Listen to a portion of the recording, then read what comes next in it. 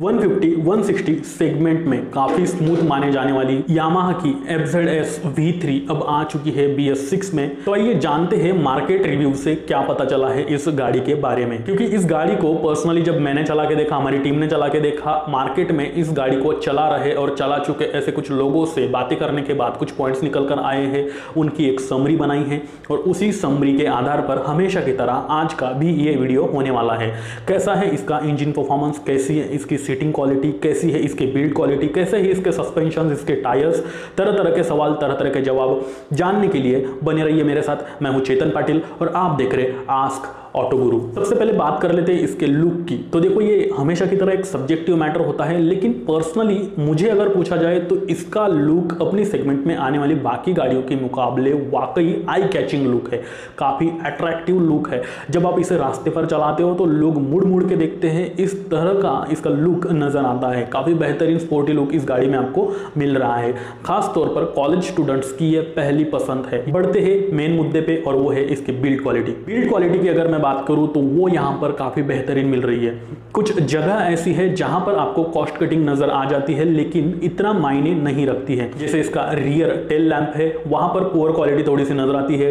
Fuel tank पर जो plastic material है, वो थोड़ा सा वीक नज़र आता है। इसके अलावा जो भी, जहाँ भी, जितना भी, जैसे भी फिक्स करा गया है असेंबल करा गया है, अपने आप में बेहतरीन साबित होता है। क्योंकि इसके स्विचेस की क्वालिटी हैंडल की क्वालिटी जो इसमें आयरन मटेरियल है, उसकी क्वालिटी जो plastic material fabric material tyres की क्वालिटी सब कुछ, जो भी है, जैसे भी है, जहाँ भी है असेंबल करा गया है फिक्स करा गया है चेसिस की क्वालिटी अपने आप में काफ़ी मज़बूत नज़र आती है। तो इस तरह से ये एक बेहतरीन पैकेज यामाहा द्वारा इस बार हमें प्रोवाइड किया जा रहा है। अब अगर हैंडलिंग की बात कर ली जाए तो 137 केजी की ये गाड़ी आती है। इसका इनिशियल पिकअप भी काफ़ी अच्छा है। बाकी जो अपने सेगमेंट में गाड़ियाँ आती है, उसके बराबर का इनफैक्ट उससे थोड़ा सा प्लस ही आप इसे मान सकते हो। अब अगर आप इसे सिटी में चलाते हो तो भी आपको ट्रैफ़िक में इतना ज़्यादा जो है, इसका क्लच जैसे कुछ गाड़ियों का होता है हार्ड है तो इसका काफ़ी स्मूथ है। यहाँ पर आपको दिक्कत नहीं आने वाली। फ़र्स्ट या सेकंड गियर पे ही ये गाड़ी आपको अच्छे से चलती है। आपको ज़्यादा इरिटेट नहीं करती है ट्रैफ़िक में। हाईवे की अगर बात कर ली जाए तो इसकी सेंट्रल ग्रेविटी जो है पकड़ बना के चलती है। काफ़ी बेहतरीन ये गाड़ी चिपक के चलती है, पकड़ कर चलती है। अनस्टेबल नहीं होती 80 90 या फिर 95 के बाद भी। वही इसका जो रियर टायर है, वो काफ़ी ज़्यादा ब्रॉड यहाँ पर प्रोवाइड करा गया है। तो इस वजह से जो इसकी कॉर्नरिंग की एबिलिटी है, वो भी अपने आप में काफ़ी अच्छी साबित होती है। वही इस गाड़ी का टर्निंग रेडियस भी कुछ हद तक शॉर्ट माना जाता है, काफ़ी अच्छा है और इसका जो टॉप स्पीड है वो 115 किलोमीटर पर आवर तक का है। और अगर आप इसे हाईवे पर चलाते हो तो एकदम मक्खन चलती है, बहुत ज़्यादा मज़ा आने वाला है आपको इसे चलाने में। क्योंकि इस गाड़ी में आपको 17 इंचेस के ट्यूबलेस टायर्स मिल जाते हैं अलॉय व्हील्स के साथ जो अपना काम बखूबी निभाते हैं। हाईवे पर काफ़ी अच्छी पकड़ बनाकर ये चलते हैं। बारिश के दिनों में भी कहीं ना कहीं जो डर बैठा रहता है अंदर की, ये स्कीट हो सकती है पैनिक ब्रेकिंग की सिचुएशन में तो वो प्रॉब्लम खास से कम नज़र आते हैं आपको इस गाड़ी में। वैसे इस गाड़ी को हमने ज़्यादा नहीं चलाया, तीन से चार किलोमीटर चलाया, लेकिन जहाँ भी चलाया, कुछ हद तक थोड़ा सा रास्ता गीला था। उस बेस पे ये एक्सपीरियंस मैं आपके साथ शेयर करना चाहता हूँ कि आपको बारिश के दिनों में शायद ये गाड़ी ज़्यादा दिक्कतें ना दे। आइए मुद्दे की बात करते हैं। इसके इंजन परफॉर्मेंस की 150 सीसी का इसका इंजन आता है और ये बी के साथ आ चुका है और वही आपको इसमें फाइव स्पीड गियर बॉक्स मिल जाते हैं।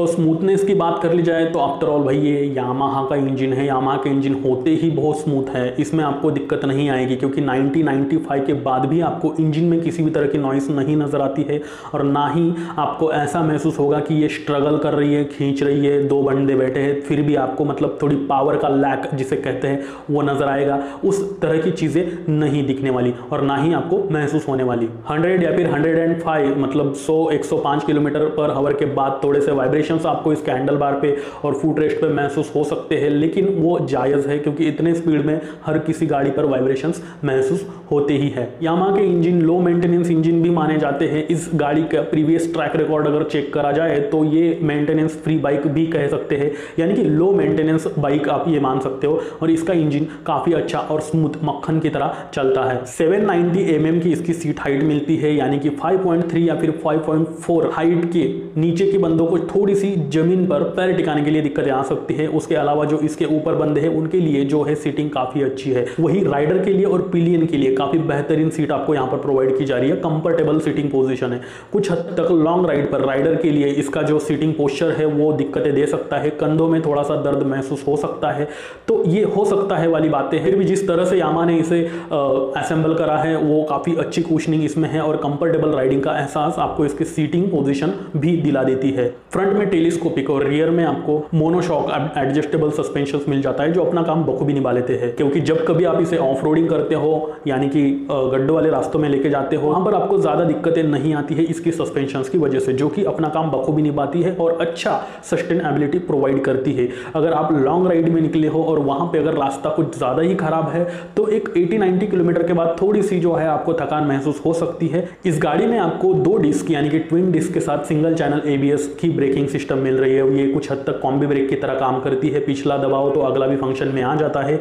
तो 80 के मतलब 75 80 के स्पीड पर भी आपको ये अच्छे से सस्टेन कर लेती है। पैनिक सिचुएशन में भी आपको ये जो है ब्रेकिंग काफ़ी अच्छी सस्टेनेबिलिटी अपने आप में रखते हैं। वही अगर आप इसे रात में चलाते हो, यानी कि डार्क नाइट में अगर चलाना पड़े तो जो इसका हेडलाइट है, वो इस बार फुल एलईडी मिल रहा है और अपने आप में काफ़ी अच्छी जो है विजुअल एबिलिटी रखता है। तो डार्क नाइट में भी आपको ये दिक्कतें नहीं देने वाला। 13 लीटर 13 लीटर का इसका आपको जो है फ्यूल टैंक कैपेसिटी मिलती है, लेकिन रियल माइलेज की बात करूँ तो वो अभी तक पता नहीं चला है। जल्द ही उसका भी वीडियो इस चैनल पर आ जाएगा। मार्केट रिव्यू की बात हो रही है तो मार्केट रिव्यू से अगर पता कर लिया जाए तो यहाँ पर 40 से लेकर 45 तक का आपका माइलेज पहले जो बी के वेरियंट था, उसमें मिलता था। अब ये एफआई में आ गई है बी में आ गई है तो हो सकता है यहाँ पर माइलेज इंक्रीमेंट देखने को मिले।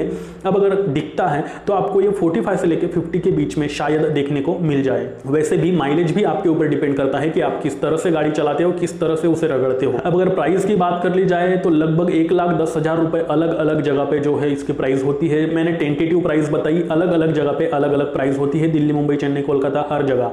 तो आप आपके नज़दीकी शोरूम पर जाकर इसे पता कर सकते हो कि ये गाड़ी आपके सिटी में कितने की ऑन रोड मिलती है। अब अगर बात करें रिसेल वैल्यू की तो ये कुछ हद तक 50-50 सेगमेंट में आता है। यानी कि कुछ लोगों को, जो बी के यूज़र थे, उनका मानना है कि इसकी रिसेल वैल्यू काफ़ी अच्छी रहती है। कुछ लोगों का मानना है कि जो रिसेल वैल्यू इसकी मिलती है, वो काफ़ी वर्स्ट मिलती है, ख़राब मिलती है। वैसे भी ये उस वक्त की कंडीशन पर डिपेंड करता है कि जब आप गाड़ी बेचने जाते हो, उस वक्त गाड़ी अच्छे से मेंटेन रखिए तो डेफिनेटली अच्छी ही आपको रिसेल वैल्यू मिलनी है। अब अगर मोरल की बात कर ली जाए, क्या ये गाड़ी आपको एक लाख दस हज़ार, एक लाख पंद्रह हज़ार रुपए देकर वर्थ है वैल्यू फॉर मनी है, या फिर इस प्राइस रेंज में कुछ और ऐसे ऑप्शन जो इससे बेटर है?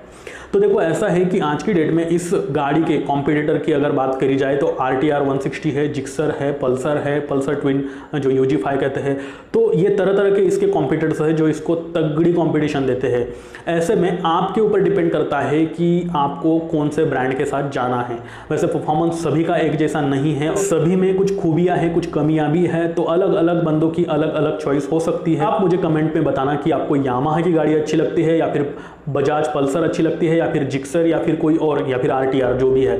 तो आप मुझे कमेंट में ज़रूर बताना। उसी के साथ ये भी बताना कि अगर आप इस गाड़ी के ओनर हो आपने ले रखी है, और जितने पॉइंट्स मैंने बताए, उनमें से कुछ ऐसे पॉइंट्स है जो मुझसे छूट चुके और वो मुझे बताना चाहते हो तो नीचे कमेंट बॉक्स आपके लिए खुला है, क्योंकि इस वीडियो को देख रहे हर एक व्यूवर आपकी कमेंट भी देखेगा, और उसके बाइंग डिसीज़न के टाइम उसकी हेल्प भी हो सकती है। वही अगर आप चाहते हो कि आपके कार और बाइक से रिलेटेड सभी सवालों के जवाब आपको एक ही चैनल पर अवेलेबल हो जाए तो ये चैनल सिर्फ़ आपके लिए है, इसे सब्सक्राइब सब्सक्राइब करना ना भूलें। साथ ही नीचे डिस्क्रिप्शन में मैंने मेरे इंस्टा और ट्विटर की लिंक दे रखी है। वहाँ पर जाकर आप मुझे फॉलो कर सकते हो। सबसे पहले अपडेट आपको वहीं पर मिलती है। इसके बाद अगर आप आपकी गाड़ी के लिए रिकमेंडेड ऑयल कौन सा है वो ढूंढ रहे हो तो उसकी भी लिंक आपको डिस्क्रिप्शन में मिल जाएगी। आपके गाड़ी के नाम के सामने आपको अमेजॉन एफिलेट की लिंक मिल जाएगी। वहाँ से आप बाई कर सकते हो। तो फिर से मिलते हैं अगली वीडियो में। तब तक के लिए नमस्कार।